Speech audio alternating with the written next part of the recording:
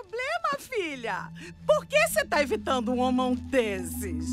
É o jeito tosco de ele andar. Seu jeito bronco de falar.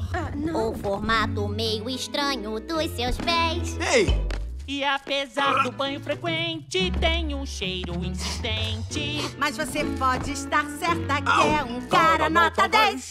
Isso é legal. Ele precisa de uns reparos, os efeitos que tem. Como sua antena.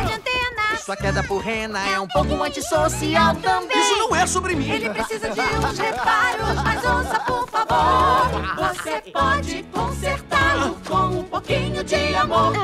Dá pra parar de falar sobre isso só dessa vez? Temos um problema sério, de verdade aqui. Eu sei. Querida, me diz. É o jeito dele de correr. Ou porque amigos não quer ter. Ou é porque ele faz Eu não precisava saber disso. Você está desconfiada da lourice delicada. Todo jeito de encobrir que ele é o tal. Ele precisa de uns reparos, meio bichado ele está. Não estou, não! Seu isolamento é o sentimento de alguém que quer um abraço já. Ele precisa de uns reparos, mas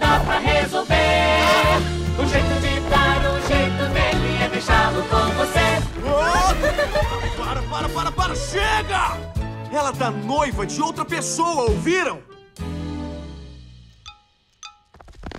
Ela precisa de uns reparos. Tá só fazendo papel.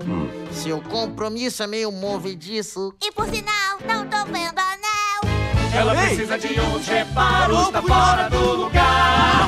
Tira o noivo então da competição para tudo consertar.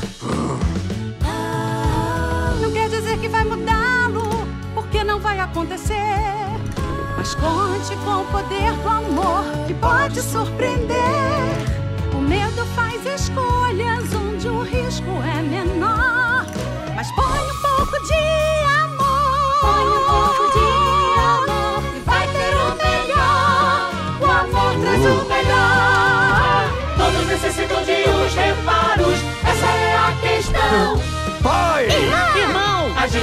gente cresce e vai melhorando em união. Todos necessitam de uns reparos, mas seja como for.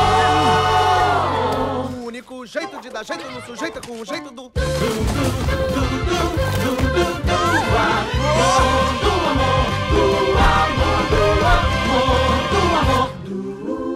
Você, Ana, aceita Christoph como seu trolítimo esposo? Peraí, o quê? Estou casando vocês. Amor,